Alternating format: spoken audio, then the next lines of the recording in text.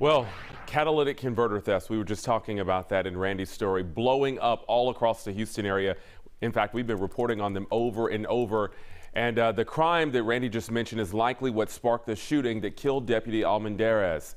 Fox 26's Tiffany Justice has also been covering this topic extensively and continues our live team coverage tonight with how lawmakers are planning to crack down on what has become just an out of control problem, Tiffany. Right, Jonathan. A recent bill that took effect September 1st, 2021, increased penalties and also outlined how catalytic converters should be tracked when purchased. But lawmakers are agreeing and saying it's not enough, now targeting key players.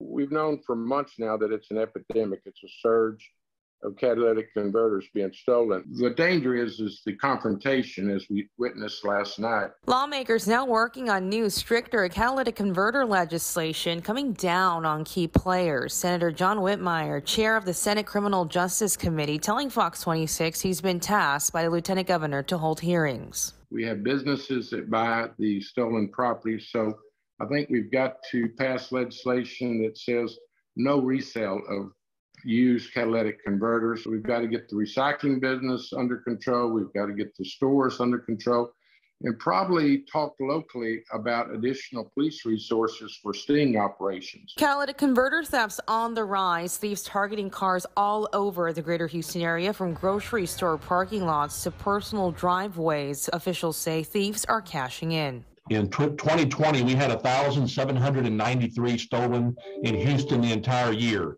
In just January and February of this year, we've had 1,974. That's on a pace of about 12,000 this year. To a Toyota Tacoma, those kind, they can get up to $1,500 for each one of those. Then they're going to turn around and sell it for $25 to $3,000. The three important precious metals inside are platinum, palladium, and rhodium. Prices today going for 1,012 per ounce of platinum, 2,548 per ounce of palladium, and 18,900 per ounce for rhodium. Ray Hunt with the Houston Police Officers Union saying there is an illegal market out there and these stolen converters are being purchased under the table. This is very lucrative. This is organized crime. This isn't some this isn't some crackhead out here stealing it. This is a business for these folks.